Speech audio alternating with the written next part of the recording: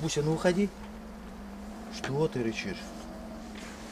Не хочешь позировать? Иди выходи. Государственный инспектор Артур Мурзаханов подобрал Соболя бусинку на святом месте, Бурхане Буртуй. Из-за зимней бескормицы она была слабенькая и шла к людям в поисках пищи. Она слишком привыкла к человеку, и практически корм уже чуть не из рук брала. Вот на Буртуе, где вот народ останавливается, на Бурхане останавливает, оставляет еду, там что-то. И мы как бы боялись, что ну, есть же не все же хорошие люди, любят пофотографировать там, полюбоваться. Кто-то мог э, просто-напросто убить ее. Бусинка прожила в вольере чуть больше месяца. Для нее были созданы все условия, а инспекторы провели наблюдение за пушистым зверьком. на кормушки положили э, кедровые орешки. Э, к сожалению, я не знал, что э, соболи орешки щелкают.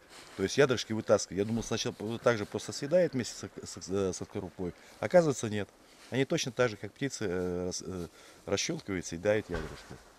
Э, Допустим, мне очень интересно было, что вот из мясного по- почти не притрагиваются, э, предпочитают рыбу предпочитает сливочное масло, сметану. То есть это, то есть вроде, вроде же в природе сметану молочного нет, но тем не менее они, им это предпочтительно. Все наблюдения инспекторы записывали в дневник. Бусинка оказалась с характером, да еще и любительницей погреться на солнышке. Хотя считается, что соболь – хищник ночной.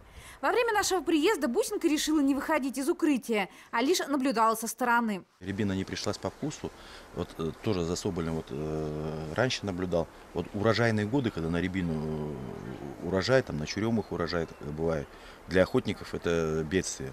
То есть они, охотники-промысловики, живут же э, именно промыслом. И бедствие тем, что на капканы не идет, на приманки никакие не идет, э, кормится только рябиной.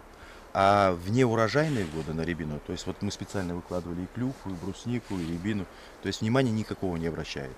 То есть такая природная цикличность. Вот если соболь перешел на один корм, он будет питаться им только. Остальное ему уже не нужно.